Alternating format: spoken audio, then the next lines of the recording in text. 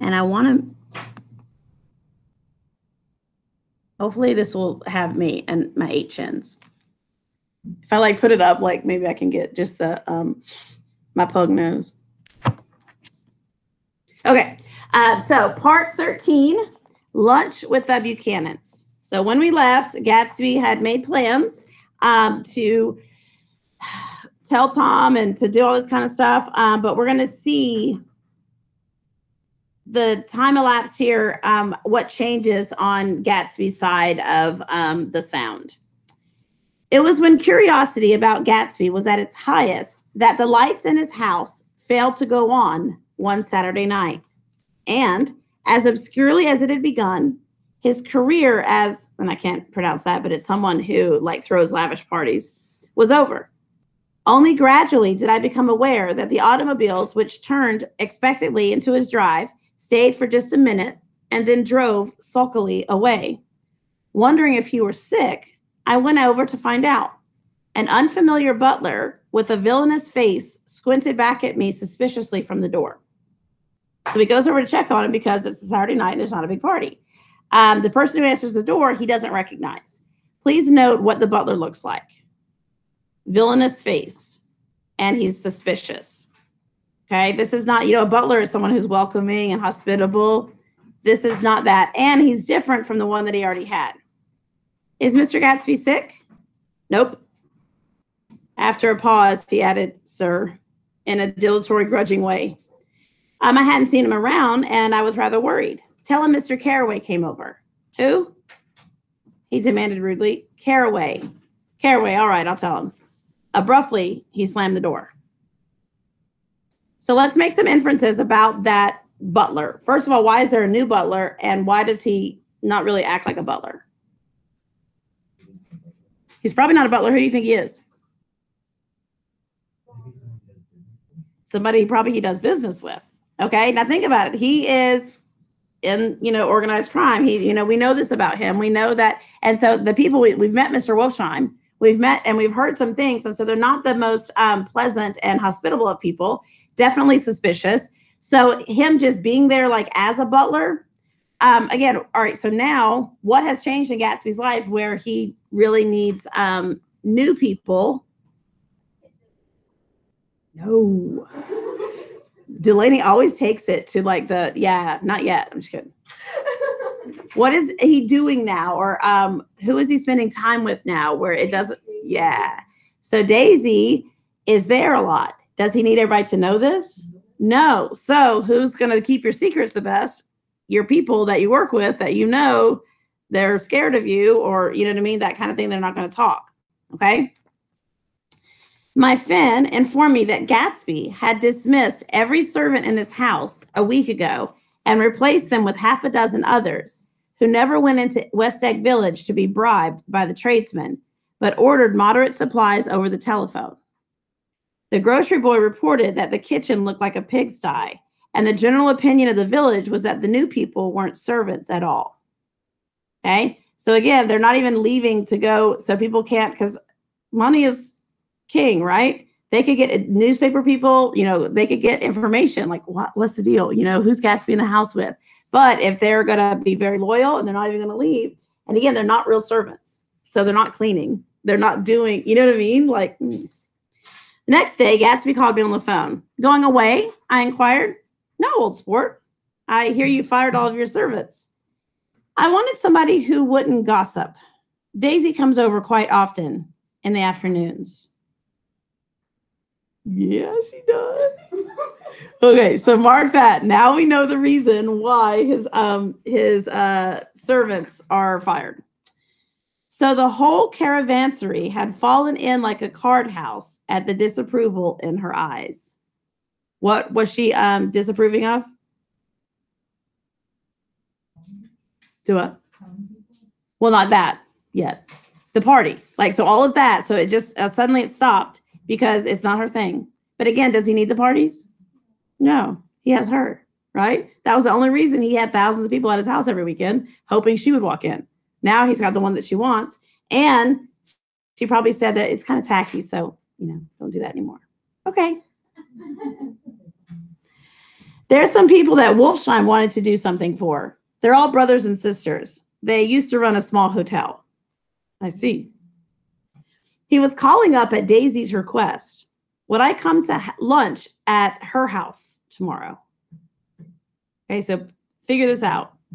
Gatsby is inviting Nick to Daisy's house for lunch. What are some scenarios? Why? Because picture it. Right now, we know it's a Gatsby or Daisy's house. So Daisy and Tom, Gatsby and Nick eating lunch at the Buchanans. Why? So that Gatsby could go, it just looks like he brought his friend. Yeah, so it's like maybe um uh just kind of a so Tom won't like know that kind of stuff and it, it, it'll look normal if Nick, you know, but but the fact that Gatsby is inviting. Okay, so keep this in mind. Miss Baker would be there. Okay, so now, you know, um, he's got a date, quote unquote. Um, half an hour later, Daisy herself telephoned and seemed relieved to find out that I was coming. Something was up. And yet I couldn't believe that they would choose this occasion for a scene, especially for the rather harrowing scene that Gatsby had outlined in the garden. So Nick determines that what's this lunch for? To tell Tom. And again, um, Nick doesn't want to be there, but I'm glad he is because we wouldn't know. So Nick's kind of like, "Is this is happening? And Jordan I have to be there?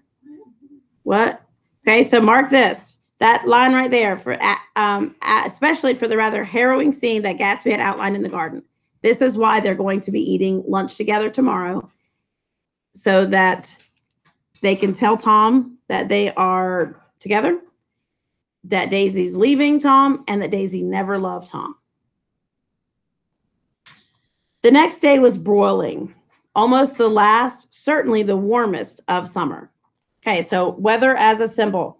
Mark this. Remember before when things were confused or when things were um, off, it was raining. Now, y'all, it's incredibly hot. Very, very uncomfortable. And y'all live in a place where it gets very, very uncomfortable when it's hot. Well, in New York, especially in this place, right, there's no, there's not a breeze, right? At least we get a breeze off the ocean sometimes. Um, here it's just hot. And so um, it's just sweat. Okay. And again, we don't know what's going to happen at this lunch definitely not every single person there is going to walk away pleased, right? So Fitzgerald is using this, okay, trying to put his reader just as uncomfortable as the rest of them, right? Um, as my train emerged from the tunnel into sunlight, only the hot whistles of the National Biscuit Company broke the simmering hush at noon. The straw seats of the car hovered on the edge of combustion. The woman next to me perspired delicately for a while into her white shirtwaist and then, as her newspaper dampened under her fingers, lapsed despairingly, uh, despairingly, that word, into a deep heat of desolate cry. Her pocketbook slapped to the floor. Oh, my, she gasped. I picked it up with a weary bend and handed it back to her, holding it at arm's length and by the extreme tip of the corners to indicate that I had no designs upon it. But everyone nearby, including the woman, suspected me just the same. Hot, said the conductor to familiar faces. Some weather. Hot, hot, hot. Is it hot enough for you? My um I can never say the word. The ticket basically came back to him with a dark stain from his hand. So even that, he just he hands it and he gives it back and it's sweating. Okay, y'all been this hot. Y'all know about humidity, right? Like I'm just miserable thinking about it. Okay. Um that anyone could care in this um, heat, whose flushed lips he kissed, whose head made damp on the pajama pocket over his heart. Through the hall of the Buchanan's house blew a faint wind, carrying the sound of the telephone bell out to Gatsby and me as we waited at the door. The master's body, roared the butler into the mouthpiece. I'm sorry, madam, but we can't furnish it. It's far too hot for this uh, this noon. What he really said was, Yes, yes, I'll see. He set down the receiver and came toward us, glistening slightly to take off our straw hats. The glistening slightly is obviously um, sweat, right? Madam expects you in the salon, he cried, needlessly indicating the direction. In this heat, every extra gesture was an affront to the common store of life. The room, shadowed well with awnings, was dark and cool. Daisy and Jordan lay upon an enormous couch, like silver idols, weighing down their own white dresses against the singing breeze of the fans. We can't move, they cried together. Jordan's fingers, powdered white over their tan, rested for a moment in mine. And Mr. Thomas Buchanan, the athlete? I inquired. Simultaneously, I heard his, gr- his voice, gruff, muffled, husky, at the hall telephone. Gatsby stood in the center of the crimson carpet and gazed around with fascinated eyes.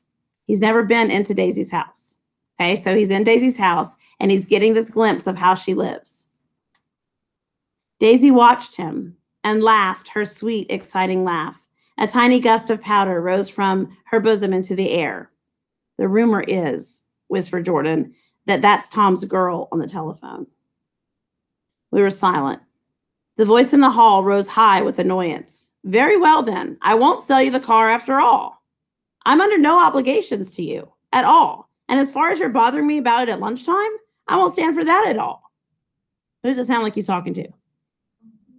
Myrtle's husband, right? Because remember, that's the, remember, there is no car. He just uses that excuse to go and see Myrtle. But now it sounds like he's calling that um, George is calling and it's like, dude, I need that car. I need, you know, it's like for money. Basically, he's going to use it for like scrap or whatever. And but he needs money. And um, and so Daisy hears this and just assumes, holding down the receiver, like he's not really, he's talking to the girl. Said Daisy cynically, No, he's not, I assured her. It's a bona fide deal. I happen to know about it. And again, Nick's not lying. He just really thought there was a car. You know what I mean? Tom flung open the door, blocked out its space for a moment with its thick his thick body, hurried into the room. Mr. Gatsby. He put out his broad, flat hand with well-concealed dislike. I'm glad to see you, sir. Nick, make us a cold drink, cried Daisy. As he left the room again, she got up, went over to Gatsby, pulled his face down, kissing him on the mouth. Y'all, like he's in here and he just walked out. So it's not like he like went to the store or he went down to the cellar to get, you know what I mean? Like, and so she's feeling very um safe at the moment. Probably a little bit bolstered up by the fact that if she thinks he was talking to his girlfriend on the phone, so if he's gonna talk to his girlfriend, I'm gonna kiss my boyfriend right here, you know? So she does it right here. Meanwhile, Nick and um, Jordan are like, you know, like I would be like, dude, can you not? Like, you know, I love you, she murmured. You forget there's a lady present, said Jordan. Daisy looked around doubtfully. You kiss Nick too. What a low, vulgar girl. I don't care, cried Daisy, and began to clog on the brick fireplace. Then she remembered the heat and sat down guiltily on the couch, just as a freshly laundered nurse leading a little girl came into the room. Blessed precious, she crooned, holding out her arms. Come to your own mother who, that loves you. The child, relinquished by the nurse, rushed across the room and rooted shyly into her mother's dress. The blessed precious. Did mother get powder on your old yellowy hair? Stand up now. Say howdy do. Gatsby and I, in turn, leaned down and took the small, reluctant hand. Afterwards, he kept looking at the child with surprise. I don't think he had ever really believed in its existence before. Mark that. This is kind of a turning point.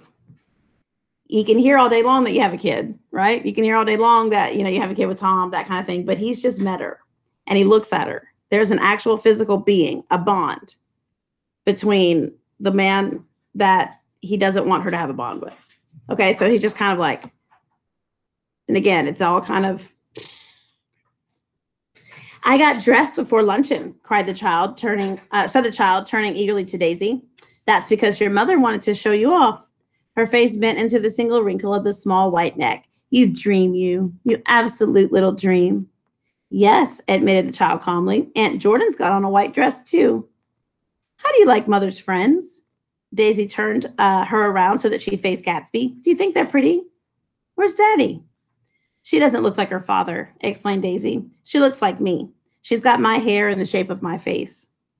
Daisy sat back on the couch. The nurse took a step forward and held out her hand. Come, Pammy. Goodbye, sweetheart. With a reluctant backward glance, the well disciplined child held to her nurse's hand and was pulled out the door just as Tom came back, preceding four gin rickeys that clicked full of ice. So, literally, y'all, she, I mean, she says it. I want to show you off. Like, she got her all dressed up, and then it's like, okay, you said it, so now go. She's not very motherly, right? She's not like going to pick her up and like, because that might get her dress, you know, like wrinkled. Um, and also, it's the child's like three, maybe. Um, and so, like, she might drool on her, you know, she might get her dirty, you know. So she's just like, and the child knows it too. The, the nurse holds out her hand, she goes with her, you know what I mean? So it's very, I don't know, think about like toddlers, you know, and their parents. You're like all about, you know what I mean? And Tom doesn't even really acknowledge, you know what I mean? Okay. Makes me sad. Um, so he comes in, and gin rickeys are obviously um, drinks. Um, and so into this situation, it's already hot. We're uncomfortable. We know why they're there. Do we need to add alcohol? But are we gonna? Yeah. Okay. Gatsby took up his drink. They certainly look cool, he said with visible tension. We drank in long, greedy swallows. I read somewhere that the sun's getting hotter every year, said Tom genially. It seems that pretty soon the Earth's going to fall into the sun. No, wait a minute. It's just the opposite. The sun's getting colder every year. Come outside, he suggested to Gatsby. I'd like you to have a look at the place. I went out with him to the veranda. On the green sound, stagnant in the heat, one small sail crawled slowly toward the fresher sea. Gatsby's eyes followed it moment- momentarily. He raised his hand and pointed across the bay. I'm hmm. right across from you. So you are. Our eyes lifted over the rose beds and the hot lawn and the weedy refuse of the dog days along shore. Slowly, the white wings of the boat moved against the blue, cool limit of the sky. Ahead lay the scalloped ocean and the abounding blessed isles. There's sport for you, said Tom, nodding. I'd like to be out there with him for about an hour. We had luncheon in the dining room, darkened too against the heat, and drank down um, nervous gaiety with cold ale. More alcohol. But it's hot. They had to, right? you notice when they're like, I'm hot. I'm like, there's water. Um, there's tea. You know, like think about, you know, there's grape Kool-Aid. Sorry. Just, my house. Um, what do we do with ourselves this afternoon? cried Daisy. And the day after that, a- and the next 30 years. Don't be morbid, Jordan said. Life starts all over again when it gets crisp in the fall. But it's so hot, insisted Daisy, on the verge of tears, and everything's so confused. Let's go to town. Her voice struggled on through the heat, beating against it, molding its senselessness into forms. I've heard of making a garage out of a stable, Tom was saying to Gatsby, but I'm the first man to ever make a stable out of a garage. Who wants to go to town? demanded Daisy insistently. Gatsby's eyes floated toward her. Ah, she cried. You look so cool. Their eyes met, and they stared at each other, and they stared together at each other alone in space. With an effort, she glanced down at the table. You always look so cool, she repeated. Has she messed up? Have they messed up? Like they're like caught eyes and it kind of just stayed there for a minute. And then she has to like literally make herself look down. This next line is everything. She had told him that she loved him, and Tom Buchanan saw. He was astounded. So mark those two lines. She um, didn't mean to do it like this, but definitely, um, yeah. And the fact that he, I mean, at, at least that's something for him that he picked up on it. He, you know, stepped outside of himself for a moment. Um, and again, he's astounded. He never, that was never part of, he never thought that that would happen. He never, I mean, she, you, nobody's going to cheat on me. Tom Buchanan. His mouth opened a little and he looked at Gatsby and then back at Daisy as if he had just recognized her as someone he knew a long time ago. You resemble the advertisement of a man, she went on innocently. Um, the, you know, the advertisement of the man. All right, broke in Tom quickly. I'm perfectly willing to go to town. Come on, we're all going to town. So before he wasn't, but now why does he need to get them out of this space? And maybe the idea that they need to be separated. Think about it. Like maybe uh, he doesn't know why they're here and what's going on, but he does know there's something going on. And if they've planned to bombard him in his own home, like maybe he can do something. You know what I mean? Like maybe we can change the scenery. Yeah. He got up, his eyes still flashing between Gatsby and his wife. No one moved. Come on. His temper cracked a little. What's the matter, anyhow? If we're going to town, let's start. His hand, trembling with an effort at self control, bore to his lips the last of his glass of ale. Daisy's voice got us to our feet and out to the blazing gravel drive. Are we just gonna go? She objected. Like this? Aren't we aren't you gonna let anybody have a smoke a cigarette first? Everybody smoked all through lunch. Oh, let's have fun, she begged him. It's too hot to fuss. He didn't answer. Have it your way, she said. Come on, Jordan. They went upstairs to get ready while the three men stood there shuffling the hot pebbles with our feet. A silver curve of the moon hovered already in the western sky. Gatsby started to speak, changed his mind, but not before Tom wheeled and faced him expectantly.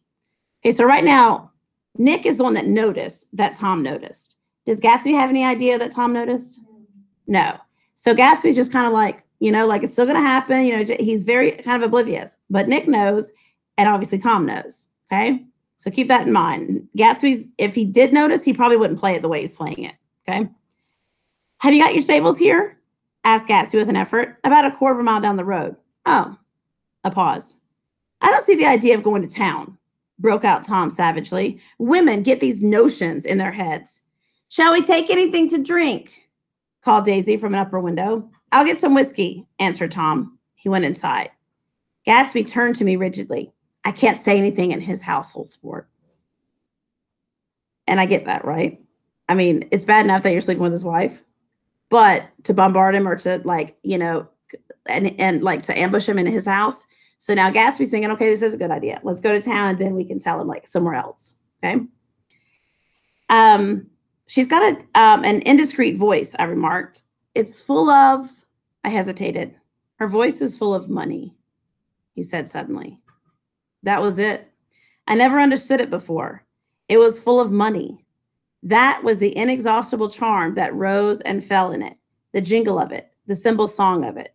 High in a white palace, the king's daughter, the golden girl. Okay, so that stops um, part 14. Okay, no, sorry, part 13. Sorry, stops part 13. So I need to stop this and make a new recording. Hold tight.